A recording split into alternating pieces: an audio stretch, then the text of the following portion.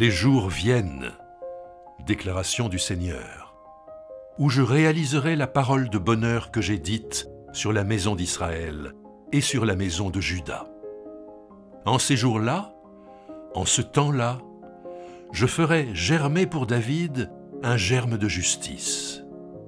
Il agira dans le pays selon l'équité et la justice. En ces jours-là, Juda sera sauvé, Jérusalem demeurera en sécurité. Et voici comment on l'appellera Le Seigneur est notre justice.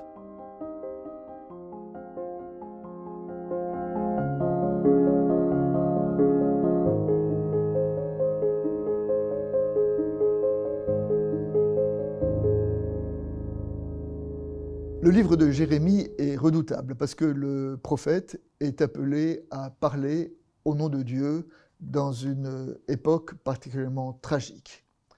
Le texte que nous avons lu se situe pendant le siège de Jérusalem. Dans le passage qui précède, on a appris que les armées de Nabucodonosor avaient déjà détruit toutes les maisons qui étaient à l'extérieur des enceintes, et maintenant euh, la ville était encerclée donc euh, par les troupes euh, chaldéennes, et euh, à l'intérieur de, la ville, on imagine euh, l'angoisse. Hein. Ézéchiel, qui est aussi un autre prophète de l'exil, dira à propos du siège de Jérusalem, un tiers des habitants mourra par la peste et la famine, un tiers mourra par l'épée, et le dernier tiers fuira et sera encore poursuivi par l'épée.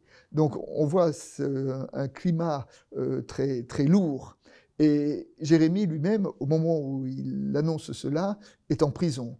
Euh, le roi l'a fait euh, emprisonner parce qu'il annonçait la chute de Jérusalem et il remettait en question la, politique royale.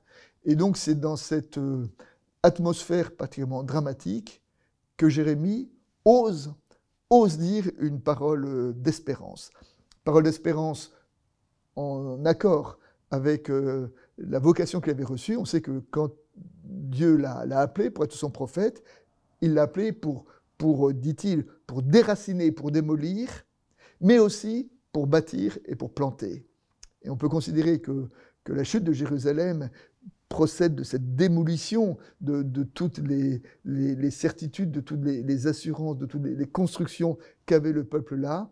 Mais la parole de Jérémie ici, c'est que la destruction n'est pas la dernière parole de l'histoire et qu'elle est suivie par une reconstruction.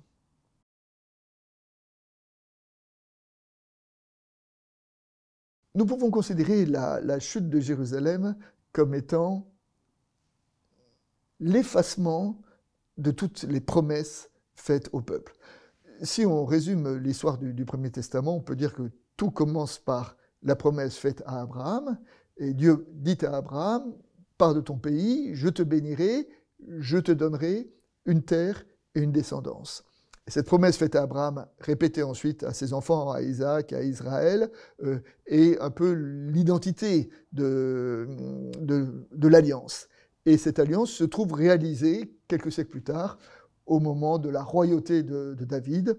Au moment de la royauté de David, ben, David euh, a réussi à réunir tous les enfants euh, d'Abraham, d'Israël, en, un peuple, un peuple uni, avec euh, un roi, avec euh, une capitale, Jérusalem, quelques décennies plus tard avec un temple, avec des frontières. Enfin, c'est-à-dire que toutes les, attentes, l'espérance du peuple se trouvent un peu accomplies en David.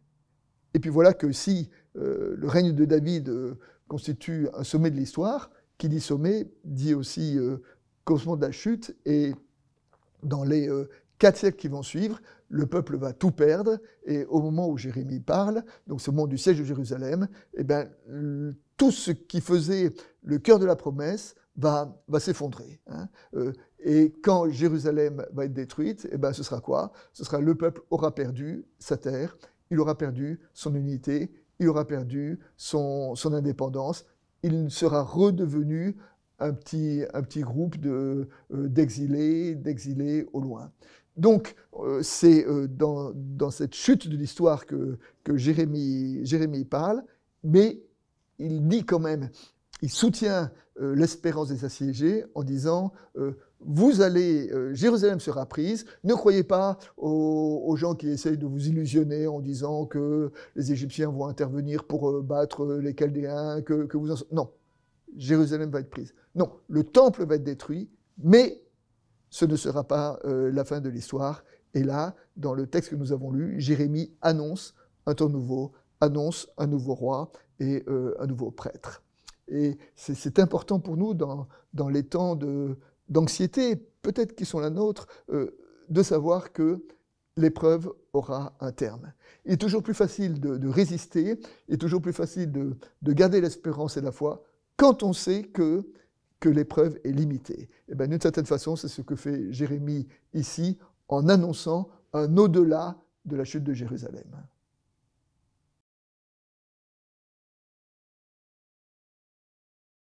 Le récit d'évangile de ce dimanche est, l'Apocalypse de Luc. et cet Apocalypse de Luc s'écrit aussi dans une ambiance, dans une évocation de ce que va être la destruction du temple. Alors c'était le nouveau temple qui a été reconstruit après l'exil, qui a été grandement euh, embelli par Hérode le Grand. Et, là, on voit que Jésus annonce que le temple va être détruit. Et donc on peut, et ça arrivera dans l'histoire, euh, en 70 après Jésus-Christ euh, à travers euh, le siège par, par l'empereur romain. Hein. Et donc là, on peut dresser parallèle un peu entre la chute du premier temple en 587 avant Jésus-Christ et la chute du second temple en 70 après Jésus-Christ.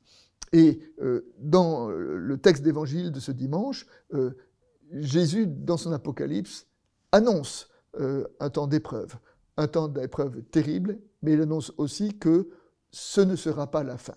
Hein. Il et, il y a un appel à rester euh, vigilant, il y a un appel à rester éveillé, il y a un appel à rester fidèle dans la prière, parce que la grande catastrophe arrive, mais la grande catastrophe n'est pas la fin euh, de l'histoire.